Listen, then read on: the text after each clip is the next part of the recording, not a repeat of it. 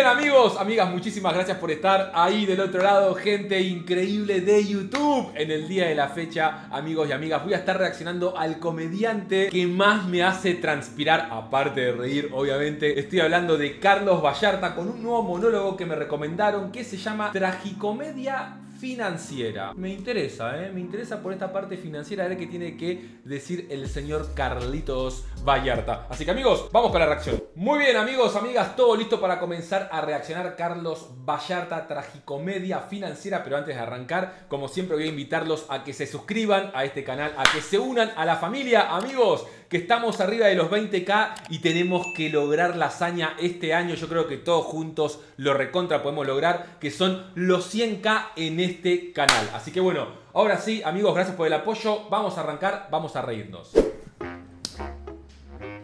A ver. ¿Están, están, ¿están bien?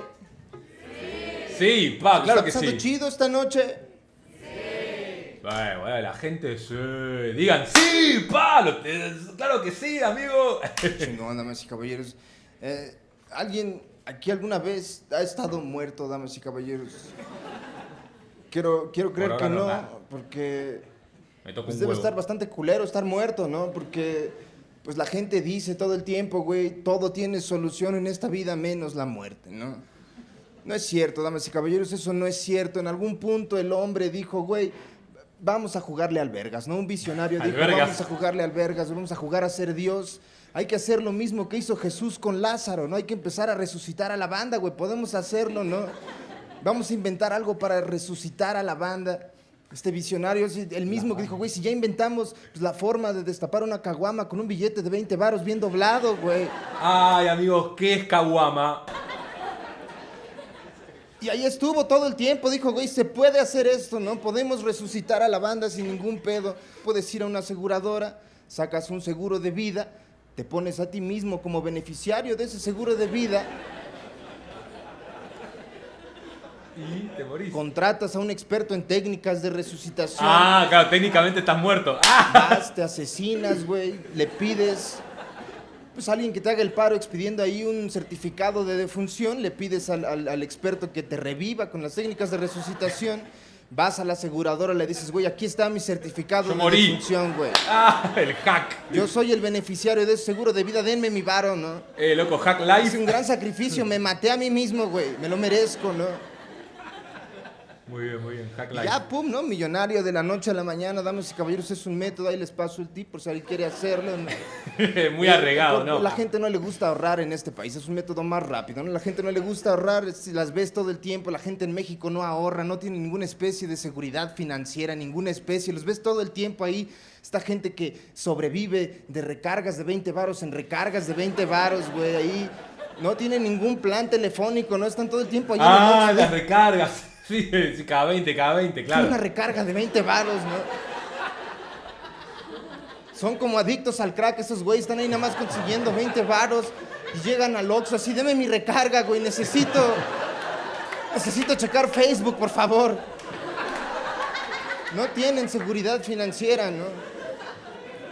Los ves todo el tiempo, güey, los ves todo el tiempo, estás ahí, estás ahí en la fila del Metrobús, no estás ahí haciendo fila, siempre hay un imbécil que está ahí sopiloteando ahí por la máquina, que no tiene una tarjeta del Metrobús, ¿no? Está ahí diciéndote, güey, hazme el paro, güey, ponme Claro, estos claro. seis varos. Es verdad, acá, acá pasa, güey. Dices, güey, aquí está la máquina, tú mismo puedes comprar la tarjeta, güey. No, güey, no importa nada, güey, estoy cansado, Toma. güey, ya hazme el paro, por favor. Es verdad, verdad, pasa, güey. No tengo saldo. La otra. gente, pues no ahorra en este país. Hay gente que sí ahorra, gente que sí ahorra, los ves todo el tiempo. Hay gente que tiene dinero, está gastando varo todo el tiempo. Esta gente los ves muy claramente. Es la gente que dice, güey, yo no quiero un taxi normal, yo quiero un taxi de sitio, güey, chingue su madre. Entonces llegan al sitio ahí, dicen, ¿cuánto es el que el banderazo está en 14 varos? Aquí está mi dinero, ¿no? Yo sí estoy ahorrando, güey. Hay gente que sí ahorra, ¿no? La ves ahí llegando a la comida corrida, están nada más pavoneándose ahí, ven a la gente así por el hombro, le dices, yo no voy a comer lo mismo que estos gatos, güey, yo no quiero un chile relleno en mi tercer tiempo, güey, yo sí ahorro a mí, deme el menú ejecutivo, güey, yo voy por la grande, güey, venga, ¿no? Y ya estás ahí tú todo miserable viéndolo comer, ahí dice, yo pedí mi menú ejecutivo, yo no voy a pedir chile relleno, yo quiero mi milanesa, ¿no? Deme mi milanesa. Con mis papas a la francesa ahí a un lado. Listo. Ya estás ahí tú todo miserable viéndolo poniéndole li- limón allá a su milanesa, ¿no? Como el hombre exitoso que es. ¿Qué estoy haciendo con mi vida? No tengo que empezar a ahorrar. Y pasa. Hay otras formas de ahorrar también, por ejemplo, si no les gusta mucho hacer esto, pueden sacar pues un seguro para el retiro, pueden trabajar, sacar una Afore y la Afore va ahorrando por ustedes, no piénsenlo así. Ustedes empiezan a trabajar, son mayores de edad, se ponen a trabajar día tras día, se levantan a las 6 de la mañana, güey, están ahí trabajando todo el tiempo, llegan a las 6 de la tarde a su Sí. casa, trabajan todos los días de su vida hasta que son mayores de edad, se jubilan y finalmente ahorraron un millón de pesos, ¿no?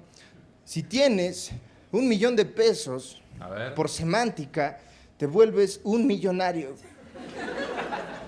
Si tú gastas, aunque sea un solo centavo de ese millón de Ya no, pesos, ya no. Por semántica dejas de ser millonario. Pasa todo el tiempo, güey, pasa todo el tiempo. Vas a Bodega Horrera, el, un centavo puede hacer la diferencia, ¿no? Vas a Bodega Horrera, compras tu coca de 9.99, el, el, el- ahí el de la caja te dice, ¿gusta redondear? Le dices, pues sí, pendejo, tengo que redondear, güey. claro. Para mi desgracia, en México no existen las monedas de un centavo, güey. Me veo forzado a redondear. Tienes que... Bueno, acá en Argentina creo que ya no, no existen las monedas, porque con el tema de la inflación que hay, antes estaba la moneda de 5 centavos, 25, 50 centavos. Creo que, está, creo que está ahora la moneda de los 10 pesos, pero ni siquiera porque tienen el billete de los 10 pesos. Creo que en Argentina ya no hay ni moneda, mira lo que te digo. eh, aprender a vivir sin ese centavo, güey. Ese centavo, pues ya no va a volver a ti, ¿no? Quisiera algún día decirle al de bodega horrera, ¿sabes qué, culero? No quiero redondear, güey. ¿Qué pedo, no? Me lo imagino llamando al Banco de México así de, güey, hay un güey que no quiere redondear un centavo. ¿Qué hago? Tienen que volver a poner en circulación las monedas de un centavo porque no sé qué hacer. Este güey no se va a ir, ¿no?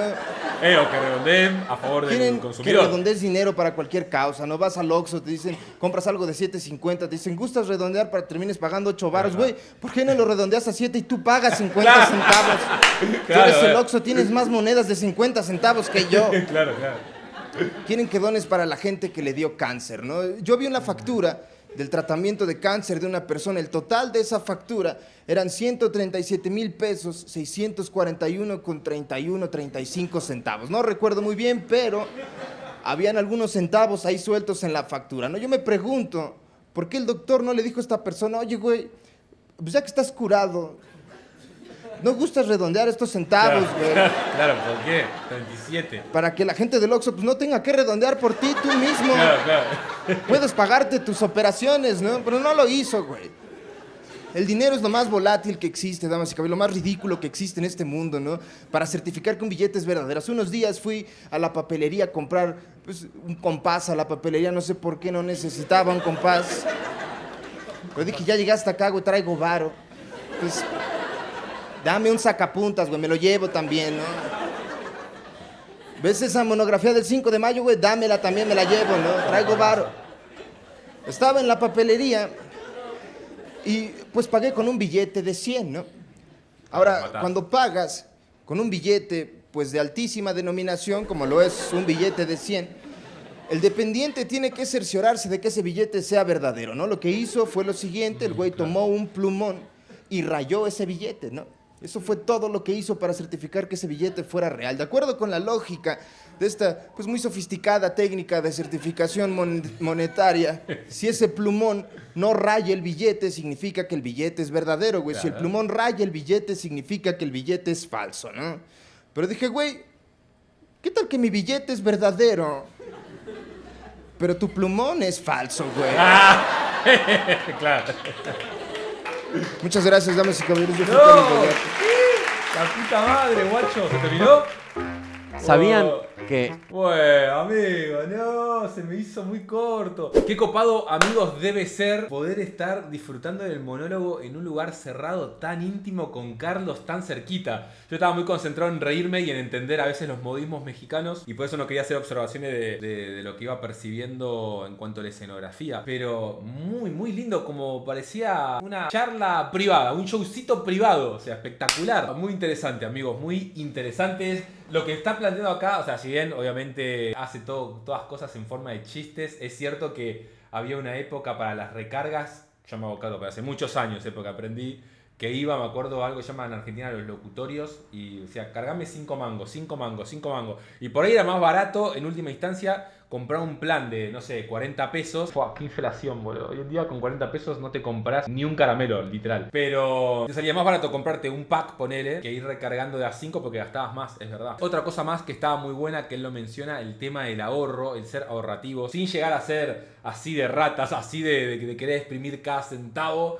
sin llegar a ese extremo, que es bueno, el que quiera llegarlo que lo lleve, pero sin llegar a ese extremo es muy importante siempre tener ahí un poco de dinero ahorrado por mes todos los meses, más allá que hay que defenderse también obviamente de la inflación, porque si no ahorras y te lo come la inflación y estás perdiendo tu tiempo, tu energía y tus ingresos se van deteriorando. Pero más allá de la inflación, yo creo que está bueno siempre tener un poco de dinero ahorrado porque es algo que se lo llama como colchón de seguridad. Un colchón de seguridad, que es algo que es como un ingreso que a vos te puede sostener tu estilo de vida actual por una determinada cantidad de tiempo en caso de que te echen del trabajo, en caso de algún accidente, en caso de que pase algún evento que está por fuera de tu control y no puedes prever, bueno, está ese colchón de seguridad. Porque si no lo tenés, lo que pasa es que muchas veces en el afán de querer tener un ingreso para poder sostener tus gastos, agarras cualquier trabajo, eh, si sos autónomo, agarras cualquier cliente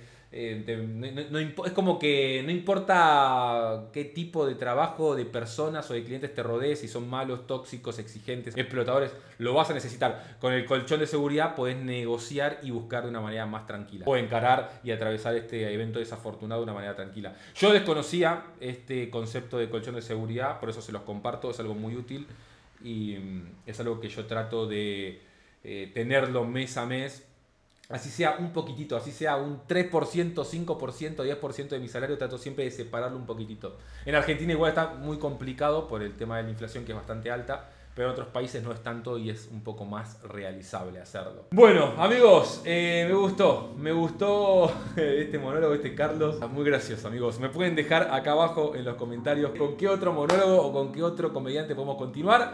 Y nos estaremos viendo mañana con un video nuevo. Hasta la próxima. Chau, chau.